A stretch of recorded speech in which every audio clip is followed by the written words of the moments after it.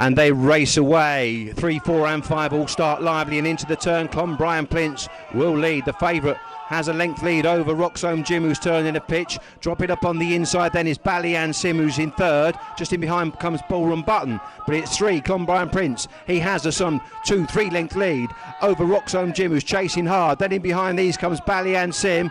In behind Droopy's Trapper looking to qualify up towards the judge. Three has bombed out the boxes and made all. Clonbrien Prince wins it and wins it well from Roxholm Jim, who was second. Third spot goes to Ballyan Sim.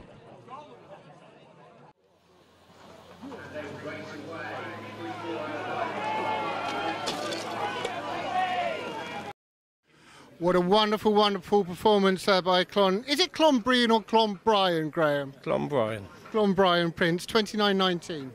Yeah, very pleased. Track's very fast. It's had a bit of um, the rain on it, and it seems to be running very well. I mean, he is just a consummate professional, and that, that was a professional performance there.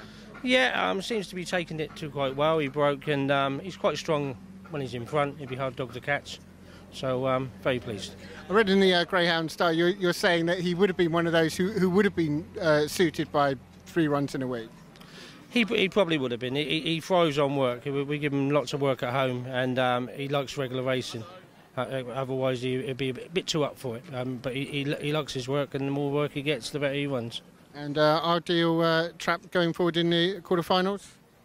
Um, trap three would be lovely you know, um, it seems to be um, suiting him quite well, and he's, he's, running well from it. So if we draw trap three again next week, it all depends what's, what is in trap one and two, really. But, yeah. Uh, Abs- we'll, we'll, take a chance. We're happy to be there. Absolutely, and uh, we're very, very glad that you are here. Every continued success. Thank you very much. Thank you.